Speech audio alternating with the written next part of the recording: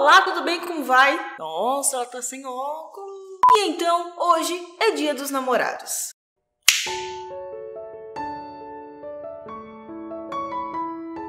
Onde? No Brasil. Isso porque em outros países o Dia dos Namorados é comemorado em outra data, no dia 14 de fevereiro. Mas e a gente, que comemora no dia 12 de junho? Por quê?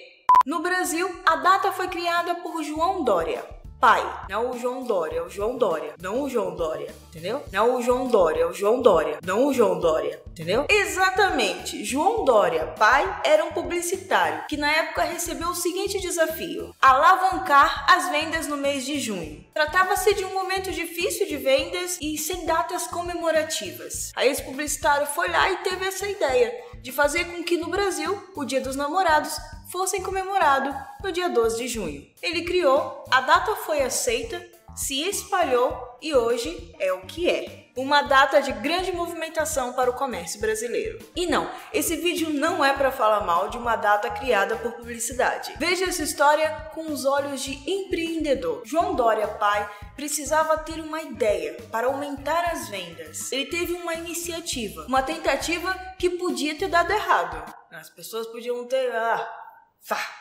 tá bom.